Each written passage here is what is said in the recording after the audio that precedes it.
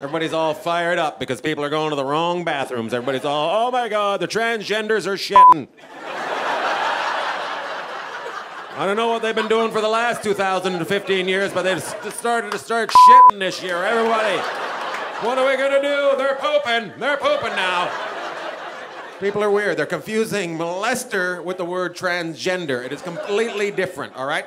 How do I explain this? My hockey coach did not dress up like a woman to molest me.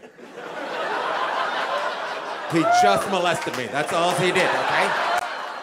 It worked out good for me. I ended up making that hockey team, so it all worked out. That's right. I got a little bit of a handy, and then I got to play center ice. It's okay.